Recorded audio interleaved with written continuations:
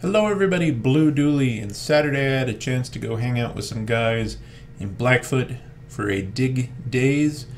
Did a little RC trucking, hooked up a dirt trailer to the grand hauler, moved some dirt.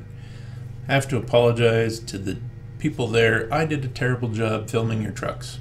Also did a terrible job filming my own truck.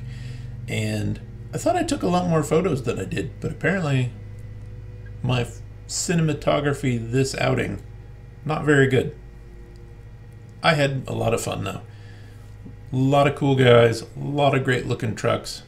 Uh, the belly dump setup they had. Really kind of want to build myself a belly dump trailer now. My truck performed really well. There isn't a lot of it in the video because I wanted to make sure to get the good shots I had of everybody else's trucks in this video. So it is a little short and I apologize for that. Hopefully they'll let me come out again, and next time I will do a better job filming everybody's trucks. Still, a ton of fun moving dirt with little rigs.